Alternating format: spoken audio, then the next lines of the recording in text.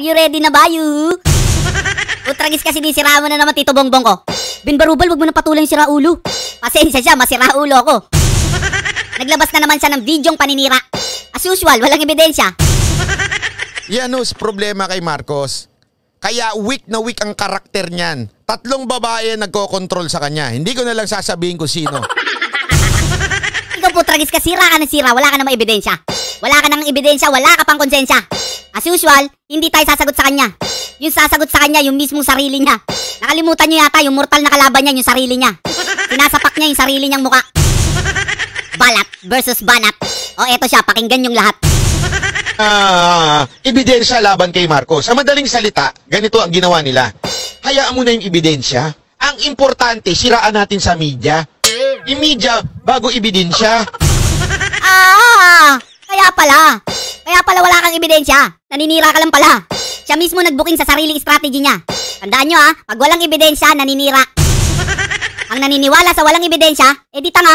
Tama ba? O may tama ka? Siya yung vlogger na nilayasan ng hiya. Sa sobrang kapal ng mukha niyang pwede mo nang bigyan ng award. Famas Award? Hindi, Tamas Award. Aloy, kapal ng mukha, di nahiya. Die Hard Duterte daw siya pero yung ate Sara ko hindi kinakampanya. Alay, di nahiya. Banat bay ang fake-fake mo. Ang inumin mo, wag Milo. Ko sinabi ng Pangulo na mamili na ang tao kung sinong Ilocanong leader ang iluluklok sa pwesto. Oo. Yari ka balat, Estebanat. Yung daddy ko, si Tito Bongbong ko yung iaangat. Kaya tingnan nyo tong video niya, gigil na gigil siya. Parang gusto niyang bugbugin yung sarili niya sa sobrang inis niya. Hindi ko alam kung sino yung sinisigawan niya, baka yung sarili niya. O ito, panoorin niyo siya. Ngayon, nagtanong siya. Sino ba ang gusto nyo iluklok na, na Ilocano? Alam naman sabihin niya, sino ang gusto nyo iluklok na Bisaya? ha? Eh, nasa ba siya? Sa Ilocos, di ba? So, syempre, anong sasabihin ng mga taga Ilocos? Syempre, gusto namin Ilocano. Easy lang balat, Estebanat. Walang yaka ang bobo mo magrebat. Ang sagot mo, nasa Ilocos siya, kaya pipiliin Ilocano. Walang yaka ang babaw ng dahilan mo. Bobo magrebat. Nasa Ilocos, kaya Ilocano. Nagtataka tuloy ako sa binigay ni Isko sa'yo kung magkano. Signing of contract hanggang May. Todo tanggol, galit na galit, siguro may advance pay. O balat. O, ready ka na. Sagutin mo na si Banat. Pakita mo ngayon sa tao kung gaano ka kagalit na galit sa sarili mo. Sige na, tirahin mo uli yung sarili mo. Ganun ang ginawa nila. So, siniraan nila na siniraan, kinasuhan nila ng kinasuhan. Kahit wala namang napatunayan. Ang problema, nayurakan na yung, yung imahe ni Ferdinand Marcos. Naisip na kagad ng tao, magnanakaw yan, magnanakaw yan, magnanakaw yan. At ngayon, yung pala, hindi naman pala, wala naman pala talaga, walang napatuna. Sa madaling salita ho, walang ebidensyang sapat. Hindi sapat yung ebidensya. Moro-moro lang yung ebidensya. Hindi, ayan na nga, alinaw na, korte na ho nagsabi niya na. Hindi yung si Duterte nagsabi niya, korte na. O, di ba?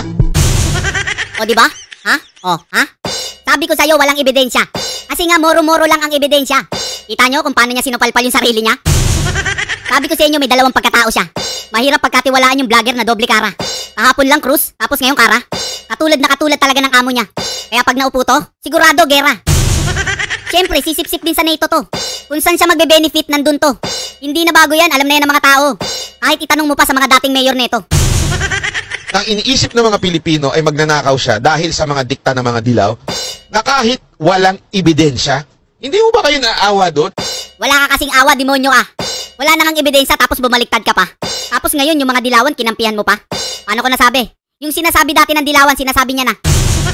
Parang okay pa siya magdilaw kaysa mag-unit team siya. Dating kampi sa Marcos, ngayon binibira. Pwes, hindi na kami nanibago yun din yung ginawa niya sa taga Maynilang amo niya. Tapos susuportahan niyo yung ganyan? Mag-isip-isip kayo, papahama kayo niyan. Isipin mo yun ha. Tapos ngayon malalaman, wala naman palang ebidensya. Banat bay ang fake-fake mo. Ang inumin mo, wag Milo. Banat bay banat. Si Banat parang tanga. Pati yung amo niyang siko is binanatan niya nga. Itong si Banat. Cute na puro dada. Sarap hatawi ng sanga ng baling din sa mukha. Subukan mong di siya bayaran, mayayari ka boy. Mga maling balita niya ay binibida niya boy. Sa mga banat niya boy, siya mismo ang napusoy. Sisilabang ko lang ito, tsak sasayaw sa apoy. Banat bay banat, si banat parang tanga.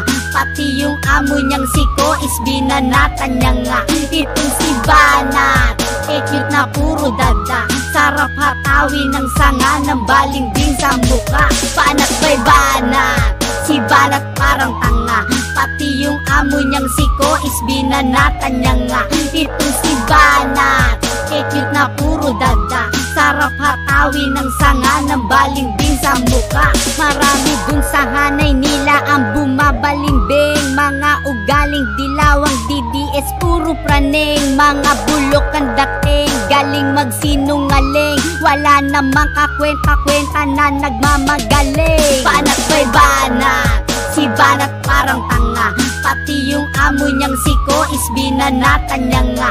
Itong si Banat Eh cute na puro dada Sarap hatawi ng sanga ng balimbing sa muka Banat bay banat? Si Banat parang tanga. Pati yung amo niyang si Ko is binanatan niya nga. Itong si Banat Eh cute na puro dada Sarap hatawi ng sanga ng balimbing sa muka Unti-unting nagbabago mga galaw ng ungas. Unti-unting nauubos ang follower ni ungas. Di na kami nabibigani sa peking palabas. Mga kampong kayo ni ko kay bobong di malakas. Banat bay banat Si Banat parang tanga.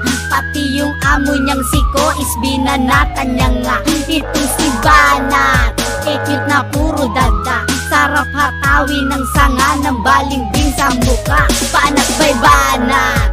Si Banat parang tanga. Pati yung amo niyang si Ko is binanatan niya nga. Itong si Banat.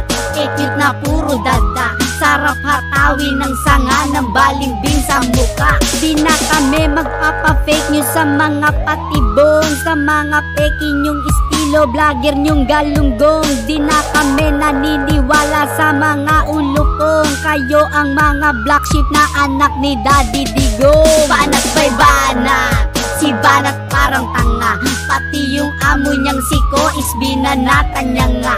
Itong si Banat cute na puro dada Sarap hatawi ng sanga ng balimbing sa muka Banat bay banat? Si Banat parang tanga. Pati yung amo niyang si Ko is binanatan niya nga. Itong si Banat. Cute na puro dada Sarap hatawi ng sanga ng balimbing sa muka Ben Barubal